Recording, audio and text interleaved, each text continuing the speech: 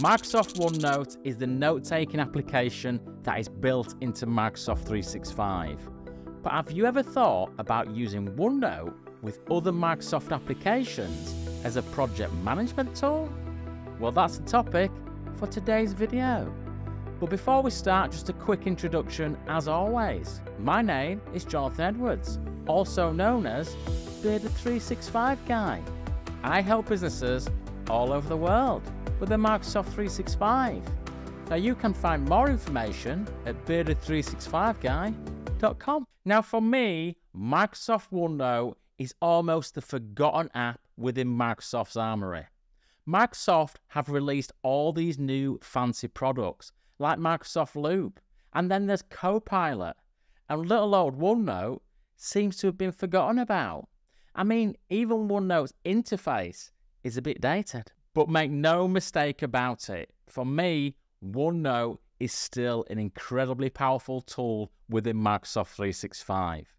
Now, in today's video, we're going to look at using OneNote with other Microsoft applications for you to be able to manage projects. Let's get started. Now, one of the biggest hurdles that I see when people are trying to get started with OneNote is they don't know where to start. They launch the OneNote application and it's a blank canvas and they get a little bit overwhelmed. Now, for you to be able to get started properly, it's important that you understand the OneNote structure. Now, within OneNote, you have something called notebooks, and these are just like a physical notebook that you would write in. Now, within each notebook, there are something called sections, and then within sections, you have pages. Now, I hope that makes sense. It's all very logical. Now, when it comes to project management, there are two ways that you can set up your OneNote structure. You could keep it really simple and you could create a new notebook for every project that you're working on. Now, within that notebook, you'd have to divide it up into sections and pages. So I suppose the project would have to be quite big. Or a simpler way of doing it is you could create one notebook and call it something like My Projects. And then each section in that notebook could be a different project that you're working on. And within each section, you'll have multiple pages. You want to know how that looks in reality? Let's hop onto that computer behind me and I'll show you. So I'm in OneNote here. I'm in the OneNote desktop app. Now you can see I've got no notebooks here. So to add a notebook, I will go to File, highlight New, and then I'm going to stick my notebook in my OneDrive and I'll put it into Notebooks there. This will pop up now and it's going to ask me to name my notebook. So if I'm just going to have one notebook for all of my projects, then I could name this notebook My Projects. And then I click on Create. Now at this point, OneNote is going to ask me if I want to share my notebook. At the moment, I'm going to click on Not Now and you can see that my project's notebook has now been created. So just to show you around here, there's my notebook here. Underneath there is my section. So I've got new section one. I can add new sections by clicking on here. And then we move over to the pages. So again, OneNote has given me a page. It's called Untitled at the moment, but I can add pages there. So what I'll do, because this is going to be one notebook for all my projects, I will rename this to Larry's Law. So that's one of my clients, and I'm going to be doing a project for them. I'll then add a new section for another client. I'll rename it like that, and then add a third section. Rename it. So this is one way that you could structure your projects. We've got one notebook, and then we've got different sections for each of our clients. And within those sections, we've got different pages. If you wanted to have one notebook for each of your projects, then you go through the same process. You just create a new notebook, but you might name that notebook the name of the project. So now we've got our notebook set up and we've got our clients in our notebook. What do we do next? So now we've created our OneNote structure, but it's still a bit of a blank canvas. Now there's a few ways you can get started. You can start adding pages, you can start typing, you can start adding images, you can do that if you want. But a way that's going to save you time is by using something called templates in OneNote. Now, Microsoft have provided a few templates to get you going. A template is just a page that you can keep producing in a OneNote page. Or what you can do is you can start creating your own personalized templates. You want to look at templates? Let's go. So we're on Larry's Law here. What I can do, I can go over to my untitled page and I could kick this project off.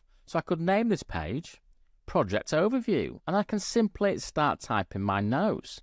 I can add all kinds of things to my notes, files, tables, online videos, notes, or I can just free type.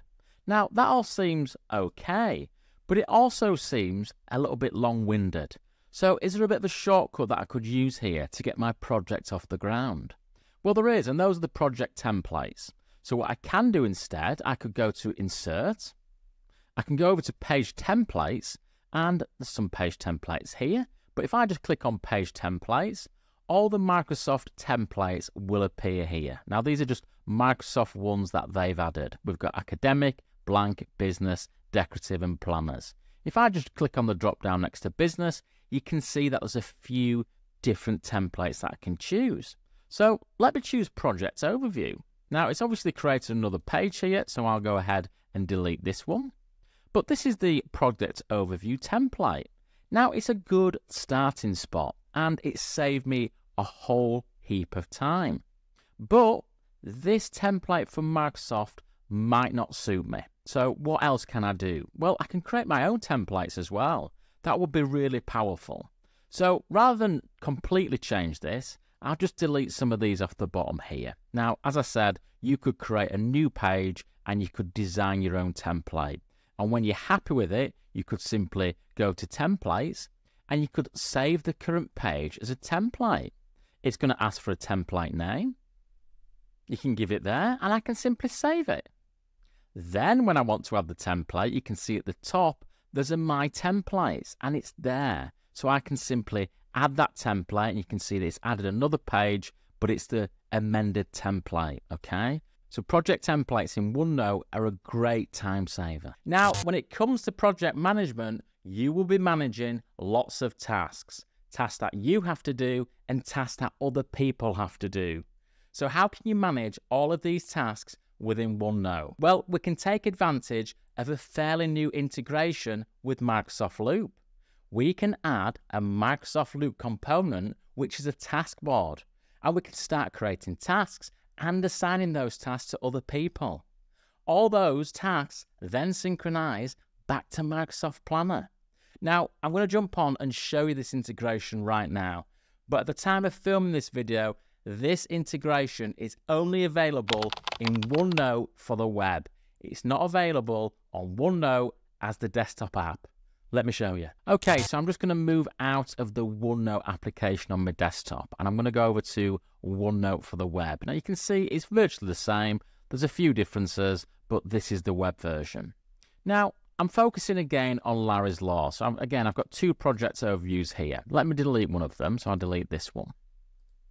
Okay, I want to add another page in here. So I'm going to go over to here, click on page, and I'm going to add the name of this page, task to complete, and I'll click in here.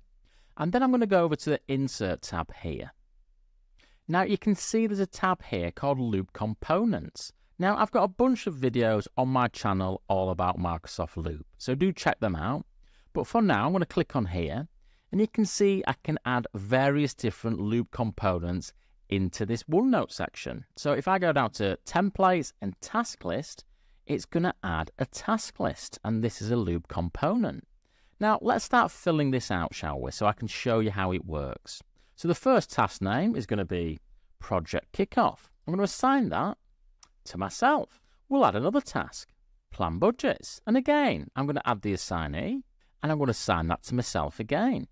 Okay, we can continue adding tasks this way. Also with this, I can look at this in different ways. So at the moment, this is part of a bucket called to do. So I can switch this to board view and you can see in a different view. I'll switch it back now to this.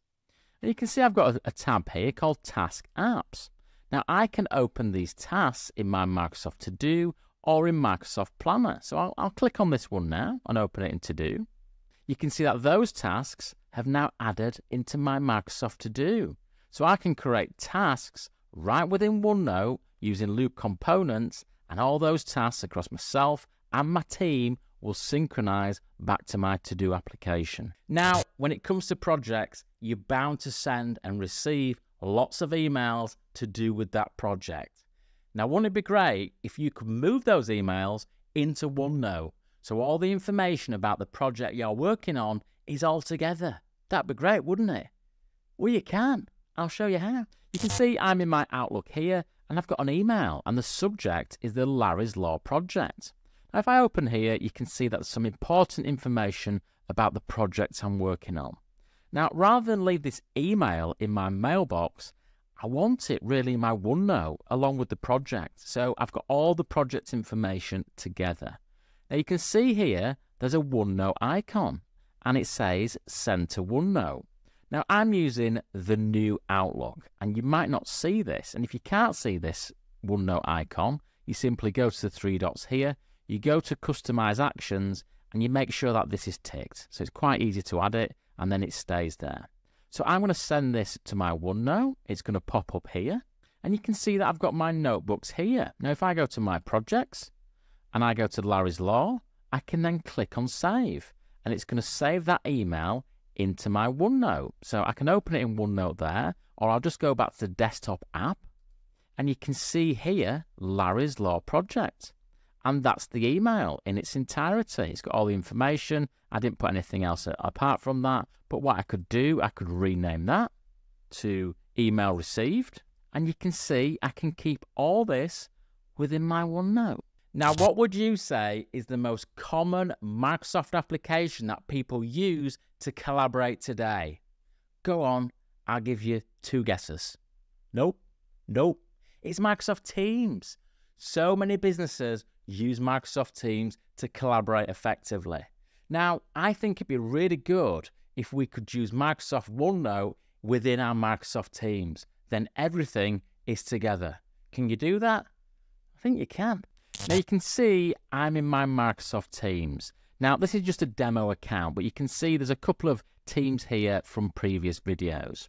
Now the first thing I want to show you is when you add a channel to a team, you will always see a notes tab along the top. And if you click on that, you can see that OneNote opens. So basically when you create a, a team, it has its own OneNote notebook already, okay? So you might want to reverse engineer this and you might want to start in Microsoft Teams. So if you've got a project going, you might want to create a channel, which will automatically create a notebook, and then you can go from there. What I've done in this video, obviously, is start from OneNote. But what you can also do is you can add existing notebooks onto an existing team. So if I click on the plus icon here, and I simply search for OneNote, you can see it's here. It's going to ask me now, I can either create a new one or I can add my existing ones. So this is my projects here. I could add Larry's Law, click on save, and you can see that that has been now uh, been added to my Teams channel. So you can absolutely use OneNote within your Microsoft Teams. Now, when it comes to projects, we're going to have a lot of meetings, and lots of these meetings will take place over Microsoft Teams.